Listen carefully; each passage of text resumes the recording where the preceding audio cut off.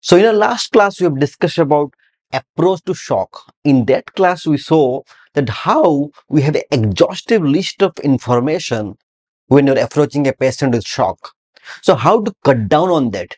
Today we'll discuss how to differentiate between two major variety of shock. That is cardiogenic shock and septic shock. Mean arterial pressure is equal to cardiac out into systemic vascular resistance. Cardiac output in turn depends upon the heart rate and stroke volume. Stroke volume depends upon the preload times contractility. Cardiogenic shock.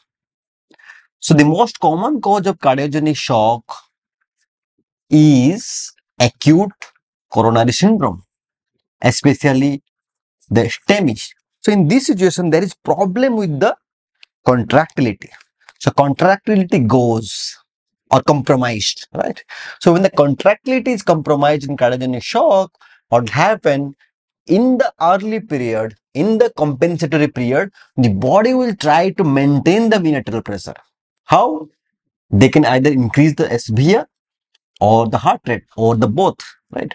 So what will happen in cardiogenic shock? Contractility goes down, which causes the cardiac output to go down. That will cause SVR to go up and heart rate to go up. Blood pressure that is SBP by DBP. So the systolic blood pressure divided by the diastolic blood pressure. And systolic blood pressure depends upon the cardiac thrust. The heart has to contract against the systemic vascular resistance. So it has to put some energy. So that contraction that is produced by the left ventricle is otherwise or indirectly measured by the systemic blood pressure, right? And the DBP is the venous clamp. DBP diastolic blood pressure is determined by the venous caliber. So what happens in cardiogenic shock? Let's see. So we have a cardiac thrust because the contractility is compromised. So cardiac thrust will be decreased in cardiogenic shock, and because cardiac thrust is decreased, SBP also will decrease. So we have a SBP which has decreased. Now to compensate, the SVR will be increased. Systemic vascular resistance will be increased. That means the venous clamp will be tight, very tight or vasoconstricted state or increased systemic vascular resistance, right? So the DBP will increase tremendously. And we know what is pulse pressure? Pulse pressure is equal to SBP minus DBP. From this equation, you see SBP decreases, DBP increases. So this value will decrease. Almost the SBP and DBP will approach each other. For example, BP like 90 by 70, 100 by 80, 80 by 60. So these kind of blood pressure, when you see in your patient, you suspect there is a cardiogenic shock. Do ECG, look for ST segment elevation MI, right? And because the SVR increases, that means the periphery is vasoconstricted. That means because there is no forward flow and the periphery vascular vasculature is very tight. So these two will produce a cold clammy skin. Isn't it? Apart from other things like uh, delirium, oliguria, mottling, all these things, right? You go to the patient's bedside and look at the blood pressure, look at the heart rate, look at the, the, the skin. And if the findings suggest we have a low pulse pressure, that means the SBP minus DBP decreased. If you have a high heart rate, if you have a cold, clammy skin, we may have or may not have delirium. We may have oliguria, mottling of skin. These things can be there. But these three, when these are present, this highly suggest cardiogenic shock. Like so, in cardiogenic shock, because the contractility is low to compensate the heart rate will increase and the SVR will increase. Because contractility is low, so systolic blood pressure will be low. Because SVR is high, DBP will be high. It will produce a low pulse pressure. So patient with low pulse pressure and periphery cold with increased heart rate, diagnosis will be cardiogenic shock. Now coming to septic shock. So again coming from our equation, the starting equation mean arterial pressure is equal to cardiac output into systemic vascular resistance. So cardiac output is equal to stroke volume, heart rate. Stroke volume is preload times contractility, right? And as well.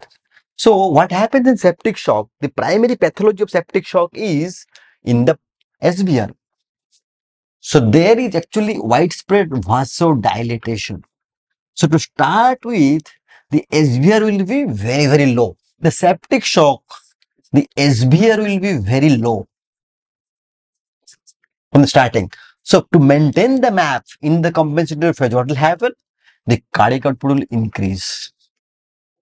Heart rate will increase. Preload is something that you have to provide from outside. From inside, the contractility will increase, heart rate will increase, and cardiac output will increase to maintain the arterial pressure. The cardiac output will increase, heart rate will increase. That's why cardiac septic shock is also called high cardiac output state. Is not it? So again, coming to the pathophysiology, so the blood pressure which is equal to SBP by DBP.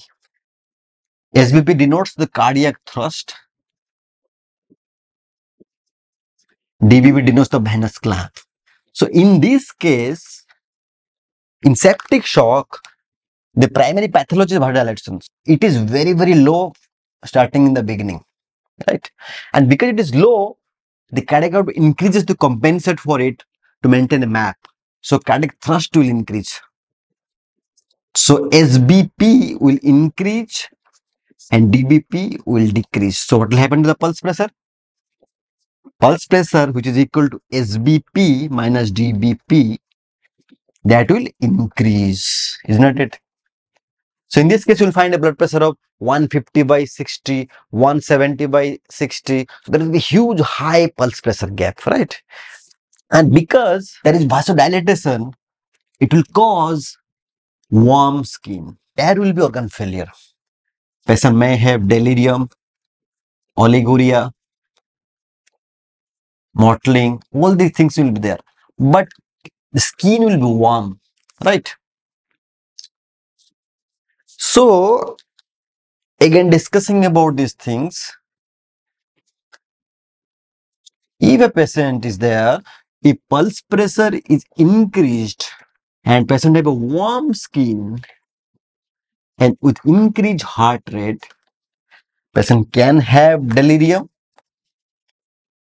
can have oliguria, can have mottling. So this is the patient who are having septic shock. So to compare between these two, you see the delirium, oliguria, mottling are same in both of these. But how to differentiate? We can differentiate using the pulse pressure method and touching the skin. So next time you go to the bedside of a patient, the sister calls you, patient is having hypertension, just go and look at the blood pressure, touch the skin, check the heart rate. If there is a high pulse pressure with warm skin, the septic shock. If pulse pressure is low and skin is cold, clammy, it's cardiogenic shock. Do not have to wait for the specific laboratory investigation to come to diagnose septic shock or cardiogenic shock. Thank you very much. In the next class, we'll discuss about how to choose vasopressors in different kind of shock. Thank you very much.